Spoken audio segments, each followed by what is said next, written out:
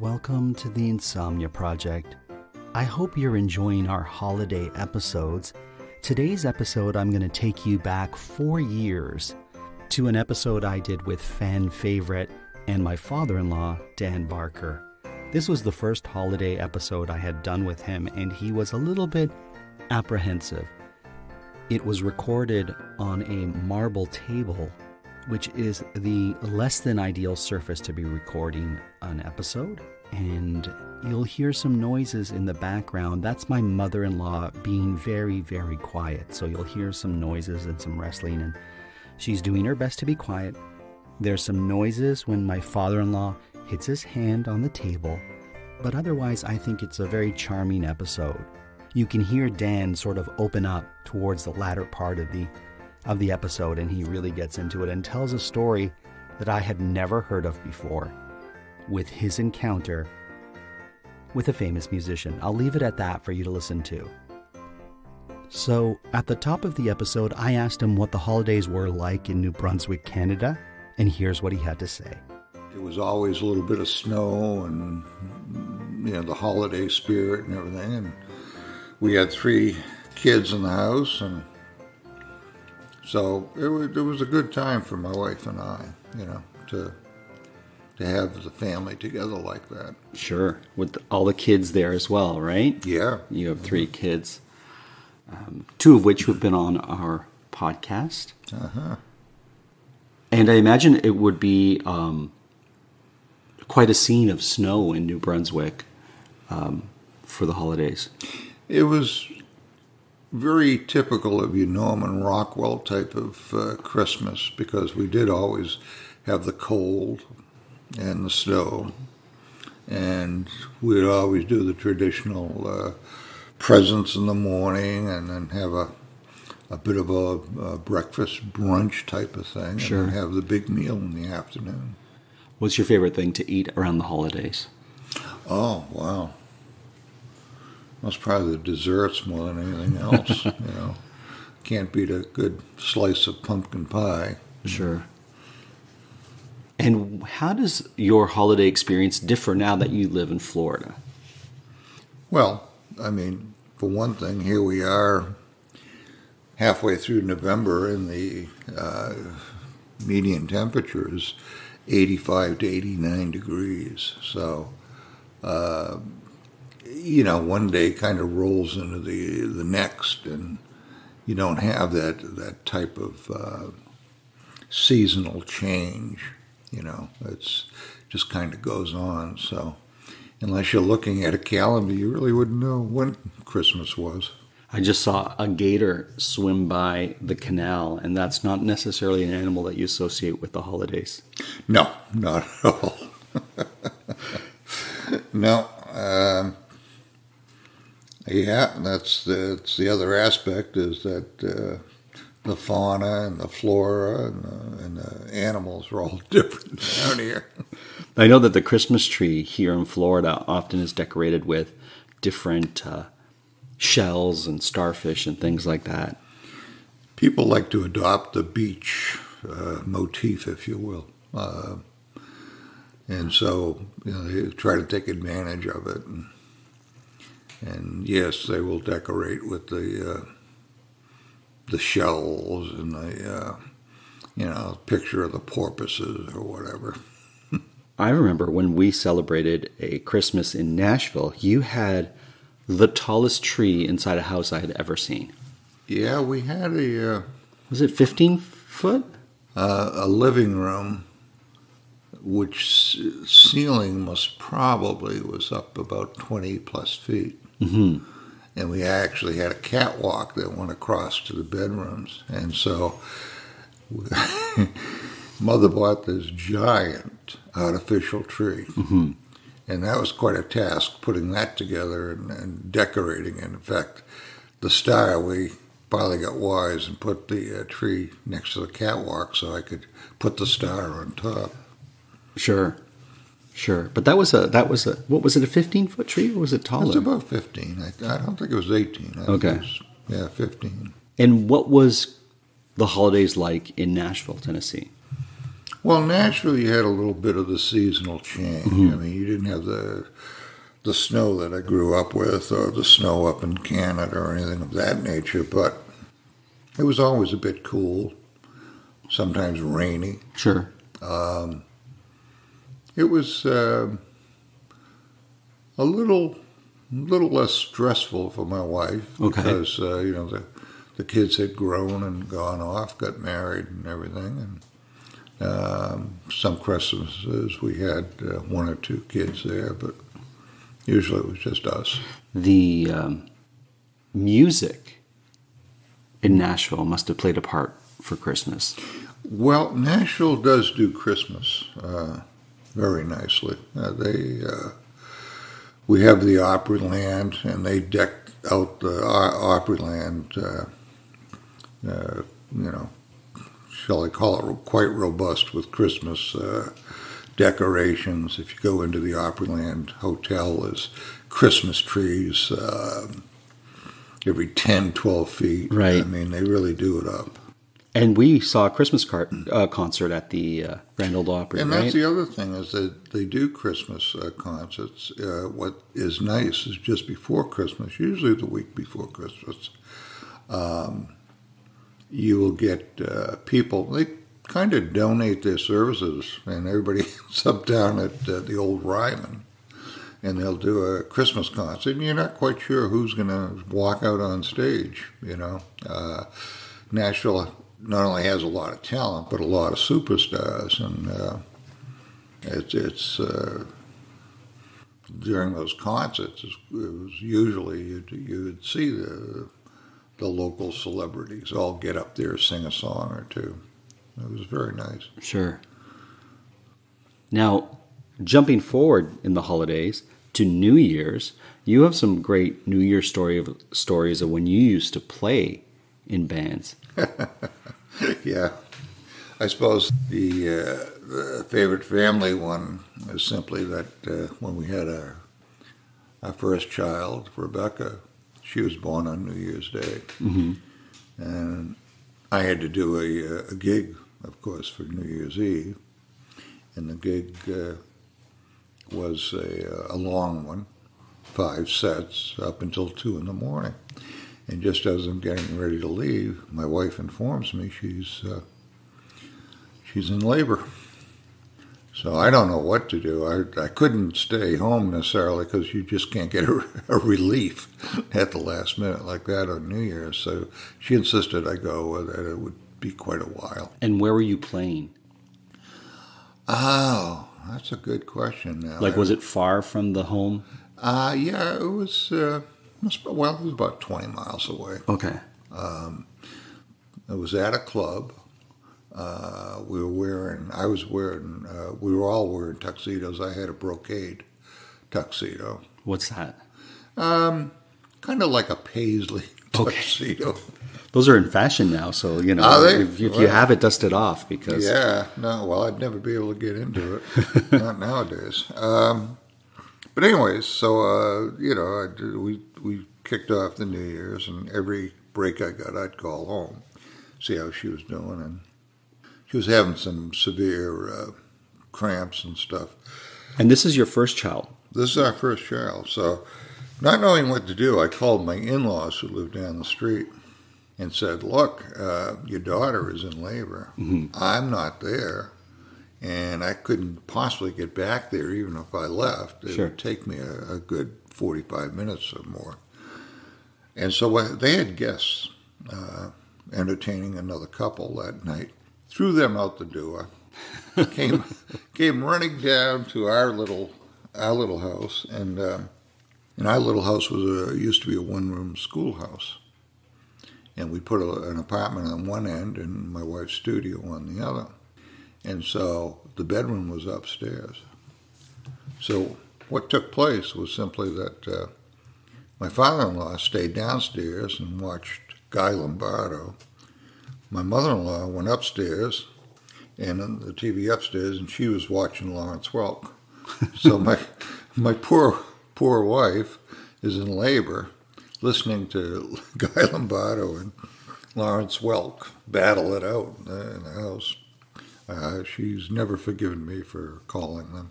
And then and then what happened? Well, what happened is I, I got through the gig, ran home, got her to the uh, the hospital. We had already talked to the doctor to to warn him, and she stayed in labor until 1:05 the next afternoon. So did you play until midnight? Played until two in the morning. You played till two in the morning Yeah. on December thirty first. Yeah, You came home, yeah. and then you and your wife went to the hospital, Mm-hmm. and your daughter was born at what time? 105 in the afternoon. Oh, in the afternoon. So it was quite a long labor. sure. I, of course, didn't change, so I was still wearing my brocade tuxedo. the doctor takes one look at me and says, Wow, you really dress for the occasion. And Becca Barker was born, and Becca Barker was born. and she is a guest on our podcast. So if you listen to past episodes, you'll hear her talk about a variety of different things. And what a way to be born with her dad in a tux. yeah. And how do you traditionally spend New Year's now?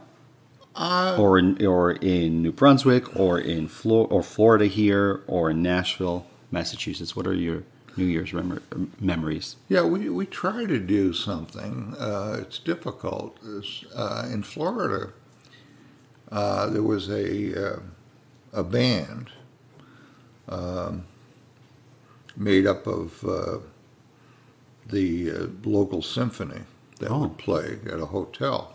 And for a few years, we would go and stay the night at the hotel, listen to the band, have a good meal. Uh, the only difficulty was we really, you know, you, you meet people, and that's great, but we really didn't uh, know any uh, anybody. Uh, one year we took you and your wife, Yes. and uh, and that was great. But uh, we got tired of that, and we tried to find stuff like down. We have a place called Hiram's, and back then they did a private party in their big uh, room, and one year we did that. And they had a nice little band playing up there, etc. But again, you're you with you're not with family or friends, so it's a little different. You Sure. Know, and, Sure. and then other Christmas, uh, New Year's and Christmases, we might um, go away. We went to the Smokies one time with you guys. Exactly. Yeah. That's one of our favorite places up by there by Pigeon Forge mm-hmm. because it's always a, a party time up there. Yeah. You know, a lot of people out to have a good time. And they decorate it so so sweetly up there. They do, they do, and that's definitely Dolly Parton's influence, shall we say? Oh, really? Um, well, if you go to the theme park, etc., they That's do Dollywood. Dollywood around just before Christmas. They bring in some tremendous shows, international shows. Uh, one year it was we, it was great. We saw Irish uh, an Irish show that would rival uh, the uh, dance troupe and singing and all of that of Irish, and then oh, there's several other countries, Italians. Uh, uh, it was all different. It was all great, really good. Now, speaking of theme parks in Florida, you had mentioned to me earlier that Disney, they put up their decorations, their holiday decorations, in one day. Yeah, that was something we heard on the news because I wasn't aware of that up until this year. And Disney, uh, you can only imagine the crew they would have to bring in to do this for all their parks, et cetera, at Disney World. But they did it all in one day and one night. Wow, that must involve thousands of people. Must have. Wow. Must have. So, since I'm sitting in front of a musician, I want to ask you what are your favorite holiday tunes? Oh, always talking Christmas. Yeah, or whatever, or whatever you songs around the holidays that you enjoy. Well, Because there's some that aren't necessarily associated with Christmas, like Jingle Bells, I guess, Dashing Through the Snow. yeah. Um, I don't know. I guess I like more the sentimental types of tunes. Okay. You know, um, you know, uh, White Christmas or uh, some of the old standards that way. I would have guessed the lim- Little Drummer Boy. Yeah, I mean, I remember as a kid, about nine, ten years old, I had an album of Christmas tunes, and Okay. Little Drummer Boy was like the first cut. Um, and then, of course, there's always the famous David Bowie and, and Bing Crosby rendition of it, Yes. which I like. So, um, but other tunes, um, you know, there are there are some there, and um, my mind's drawn blank. No, it's all good. But uh, How about to play? well, the f- thing was back when I was playing, I was playing mostly top forty rock and roll, Okay. right? Right. And so for Christmas, we never rehearsed anything. So if one of the, say the bass player knew a song, he'd say, "Okay, here's the chord structure," and I'll sing it, and off we go. Oh, I see. I mean, some renditions you wouldn't be able to tell what tune it was. Earlier, we were talking about um, people who write Christmas songs, and you had mentioned that Mel Torme had written a song. Right, right. Um, which is, I think, called a Christmas song. And most people know it with the line "Chestnuts roasting on an open, Open fire. Fire. Yeah, Yeah, and he wrote that when he was rather young. So, you know, it's it certainly has uh, weathered the years. sure. But it's special to me because uh, I had the pleasure of meeting him one day. Oh, you did. I did. I was working at uh, the Zildjian Cymbal Company, hmm and I was coming back from a break, most probably the lunch break, and I got delayed somehow, and I didn't want the foreman to see me coming back from the break late. you know. Right. So I'm running down the, the hallway, and to go into what we call the vault, where we kept all the product, All the cymbals. all the cymbals, there was a big double door. Okay. And so I'm running down the hallway. There's no mirrors or anything. So just as I get to the door, I go bolting right in, take one step in, and bang! I hit somebody. Oh no. And I knew who I hit was quite short Okay. because I was towering over him. And uh, I was afraid it was my boss, the owner of the company, right. who, who only stood about five foot two or so. Okay. And so, you know, I, I hit him hard and I immediately wrapped my arms around him, but I couldn't hold him up. And so he goes backwards and I'm over him, gently laying him on the floor. and as I'm looking down, nose to nose, I looked and I said, Hey, you're Mel Torme. He raises his right hand, shakes my hand, says, Glad to meet you. And he's on the ground at this And he's on the ground. He's on the floor. and I, I thought, oh my lord! And of course, everybody's standing around watching him. But he was a he was a great uh, storyteller. Uh, what was going on was he was doing a, a club act, Mhm. And his drummer was a young guy named uh, Donnie Osborne Jr. Okay. His Donnie Osborne Sr. was the president of Slingerland Drum Company. And so uh, Donnie Osborne Jr. and Mel would do what we called swapping fours and eights, meaning it was kind of a drum off. Oh, One, so they'd have two drum sets there. I see. And Mel Torme did play drums as well as other instruments. In fact, he had perfect pitch. Oh, I didn't know that. Yeah, yeah, that's that was one thing. Uh, so at any rate, uh, they would do a drum battle. So they they stopped by the factory to get some fresh cymbals, some new cymbals.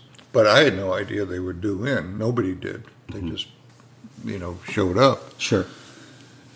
And anyways, uh, but that he, he was quite a guy. It sounds like he had a great sense of humor too. Oh, he did. He told us stories, you know, about Buddy Rich was a good friend of his. Right. And um, people have a, one impression of Buddy, and Mel has known him since way back when Sure. the big band days, and told us some great stories that have happened through the years. Um, and he he just kept us entertained all afternoon. Of it course. was wonderful. Did you ever meet him subsequently after the laying him down gently on, on the ground? No, 'Cause I'd love to know if you remembered that. I, I'm sure he remembers it because Because when I hit him, I mean, you know, I was a big strapping young guy, and I was running at full speed. So, yeah, he knew he was hit. Describe to me your perfect Christmas day. I like uh, now that I'm older, I guess, but I like a low key Christmas. Okay. Um, not rushed to do anything. Sure. You know, um, we no longer had really have family around. Uh, you know, so we we're on the phone quite a bit. Sure. But um, Opening presents through Skype, which is a modern day thing that quite a few Yeah, quite a few people do now. yeah, um, definitely we do that. We have the one grandchild, and we, you know, want to want to see him open his presents. Uh, and uh, you know, with with the others, the same. Um, you know, that's that's uh, become a tradition. Sure, Yeah, sure. yeah. Is there a present you remember receiving as a child or later in life that really struck you on Christmas? When I was a child, it was in the late 50s to early 60s. And I lived in a neighborhood, we had a lot of kids. It was a post war uh, neighborhood that was built. This is in Massachusetts, right? Massachusetts, yeah. And so, you know, we would do the traditional wake up early, get the presents open, see what you got. But it always reminded me of uh, something a little more simpler because we would get maybe one big present and some small ones. And we wouldn't necessarily know what the big present might be. So, uh, one Christmas, something I didn't even ask for, I got a Lionel train set. Oh wow. Yeah. Now I have an older brother, ten years older than I am, and my father, and they, the two of them decided, well, we'll mount this train set on a big piece of plywood we have down in the cellar. Well, I didn't want that. Okay. I wanted to be able to break it down, set it up differently, etc. But they wouldn't listen. They didn't care. Right. So they ended up doing that. And uh, of course, Christmas Day they played with it more than I did. Oh. But that that I remember that because it was something I didn't ask for. I didn't really care about, but but apparently my father, my brother did. Do you ever see uh, Lionel train sets at flea markets uh, that you go to or you attend? You often might see a train set, Okay. uh, but it's not necessarily Lionel. Okay. You know, you see more H and O scale trains than anything. But uh, once in a while, yeah, because there, there are some old people that have collected them and didn't give them up. Right, because they're worth. I think they're worth some money, aren't Oh, they? Oh, worth a lot of money. I have a friend that collects trains. That's his hobby, and uh, it's amazing what they get now for a locomotive or How much would your set be worth in today's money? uh, a few hundred dollars. Okay. I guess. Yeah, I mean back then it was probably it was a twenty nine ninety five deal, you know, or Right. something like that. But but. Uh, you know, it was, it was rather simple. You could either do a big oval track or you do a figure eight. Sure. and that you know that was it. Then you just add things along, Right, of course. along the way. Um, but yeah, I mean, you know, it's there are uh, uh, displays. We go to a place right down the street called McKee Gardens, and they have a building where they put up a big train display. So, you know, if I want to see train sets, I can go down there. Fair enough. But that's not necessarily your thing. No. No, that's just one of the memorable gifts you got. What was um, Christmas like in Massachusetts? I, I, we, we talked about Nashville and Mm-hmm. Florida and a little bit about New Brunswick, but we didn't get. This is kind of the episode where we talk about multi city or multi place uh, holiday. Well, Massachusetts, like I said, um, grew up in a post-war development. Lots of kids, lots of kids my age. And I remember that what we would do is that, you know, around noontime we'd want to go out and play. Now, we might have snow. It might rain, or it might just be a great sunny day. Oh, I would have thought Boston would have had had snow. Uh, not all the time. Okay. No, no. no. Um, January would be when you'd expect the snow. I see. January and February. So uh, what would happen is you'd think we'd all bring our toys outside and play, you know, the new toys. Sure. I don't remember that. You know, we would get together and and uh, maybe play soldier with our old toys or uh, ride bicycles, especially like if one kid got a bicycle. Well, we'd all get our bikes out and, you know, go around the neighborhood and whatever. So it, it was kind of funny that way. Um, I mean, sometimes we brought our new toys out and inevitably break something. Yeah. You were saying something dawned on you? Well, we always would have stockings uh, hung on the, by the fireplace. Mm-hmm. And of course, as young kids, what do you do? You go around looking for the biggest socks you can find to put up there. You know. So they were actually uh, stockings that were in use, is what Oh you're saying. yeah, absolutely. Oh yeah, we didn't have any of these fancy ones, you know. No, these were these were actually in use. So you'd have to, I'd have to read my father's uh, sock drawer, you know, and look for some big heavy woolen uh, socks that he might have. But uh, no matter what they put in the socks, what you always got was a, a fruit. It was an apple or an orange Okay. and you always knew because it was always at the toe of the foot. So even before you go into it, all you do is feel around, and go, "Oh, I got an apple this year, or I got a orange." Right. And most probably you'd never eat it. You just you throw it in the fruit bowl or something, Right. Because you didn't care. And then there'd also be nuts like walnuts and whatever. And then, of course, maybe a little uh, charm or a, or a Mickey Mouse watch or whatever, um, which would be the big thing in the sock, you know. One year, my mother, for whatever reason, thought it would be funny because they put their socks up too. And uh, all she did was put coal in my father's. sock. and that, you know, that was a bit of a bit of a family joke for a while, you know, because it's like, oh, Dad, you were bad this year, huh? Right. Did you ever play Santa now that you sit in front of me with a white beard? Um, I did. Uh, when we were first married, my father-in-law, who was a big man, Yes. weighed 360 pounds, And very tall, right? six foot two or so. Okay. Yeah, but he he was big, and uh, he always played Santa. Okay. Loved to play Santa. In fact, he would take his vacation from work before Christmas so that he could be a department store Santa. Oh, I didn't know or- that. Oh yeah. Which store? Oh, uh, well, when the malls first came out, Mm-hmm. he would he had a couple of malls he did. This is in Boston or Weymouth? Well, it'd be down in the South Shore. In the South Shore. Yeah, Braintree, and then Hanover built a mall, and uh, and I mean he just looked the part, Right. and he spent a lot of money on a great outfit. Um, I mean, even with the boots, I mean, big black boots, and I mean there was nothing. Uh, it wasn't a costume. It, it was it was pretty much the real thing, and he just loved doing that.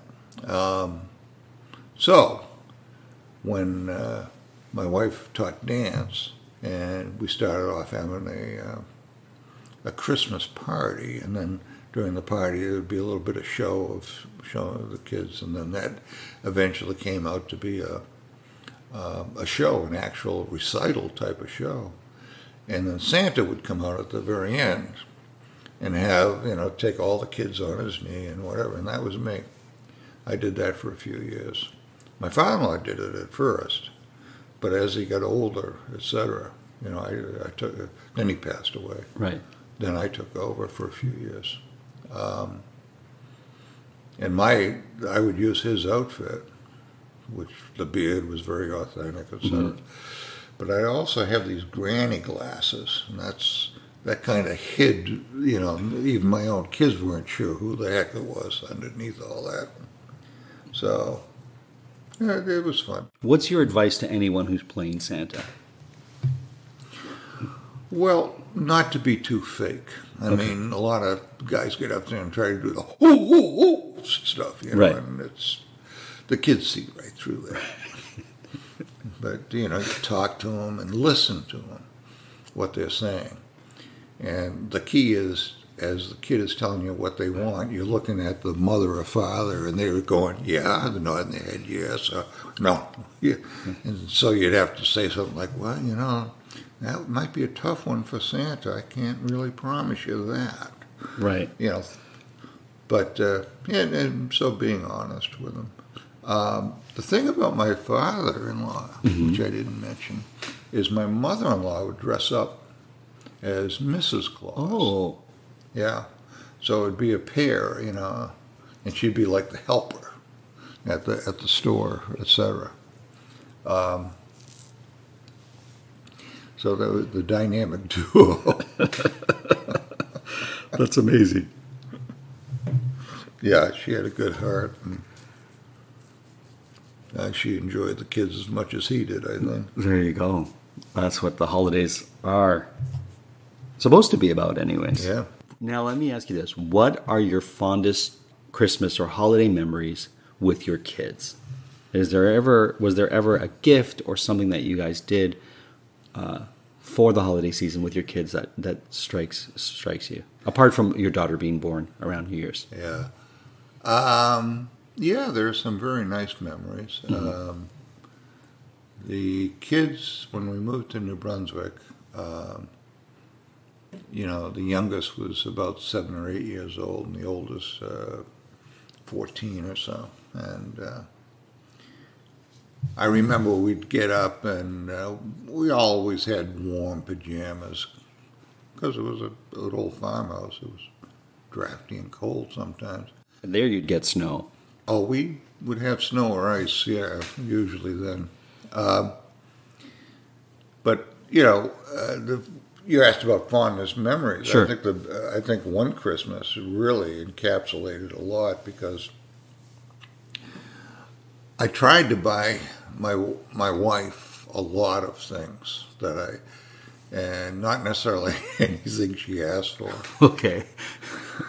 So she would, you know, we would all take turns opening presents. Mm-hmm. Well, when it got to be her turn, she'd open a present, usually from me. And just as she's opening, she'd look in the package and go, Oh, no, you didn't buy me that. and this went on like for every present that one Christmas. And if you ask the kids, they, that's a fond memory. They remember that very, very distinctly. Oh, yes, they still bring it up. Yeah, and I mean, my children would come to my defense and say, "Look how much effort Dad put into doing getting all those presents." And I, remember one present was a boom box. She absolutely hated that. Right. Um, and then you know appliances for the house and other things, and but nothing she liked. Now, I once bought your daughter a gift for Christmas, and when she opened it, she did not. She was like, "Oh, why did you get this? I don't want this." Blah blah blah.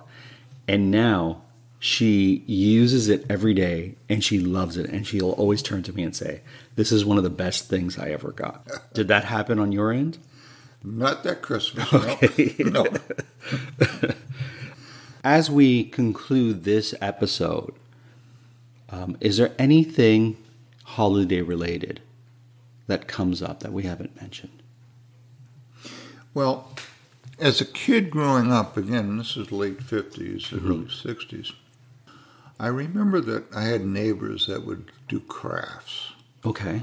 I mean, one gentleman would, we had birch trees and would cut pieces of birch logs off and drill them for his candlestick and decorate them as Sure. candlestick uh, holders.